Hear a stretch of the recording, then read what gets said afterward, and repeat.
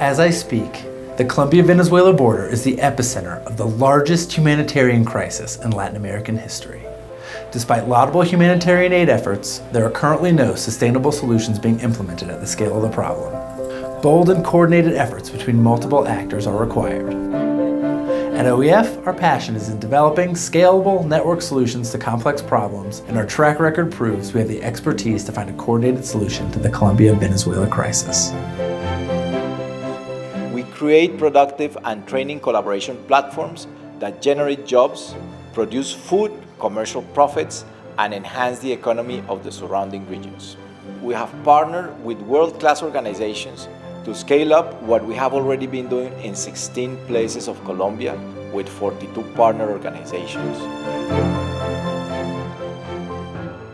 A multitude of Venezuelans eager to work in an ocean of available land and market opportunities carry with them a potential that can be harnessed to build a corridor of prosperity in the border.